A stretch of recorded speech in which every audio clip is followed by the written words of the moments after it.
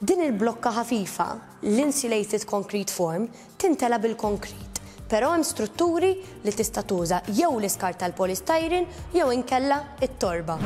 Iġifieri, mhux biss li minnha nnifisha diġà magħmula minn materjal li ħafna minna hu riċiklabbli, imma anke tista' tintela' materjal li hu tajjeb għall-ambjent. U jekk ma kontx taf, bl-ICF tista' tibni sa sittax-il sular meta tuża blokok li huma load bearing. Għidli xi trid aktar, eh?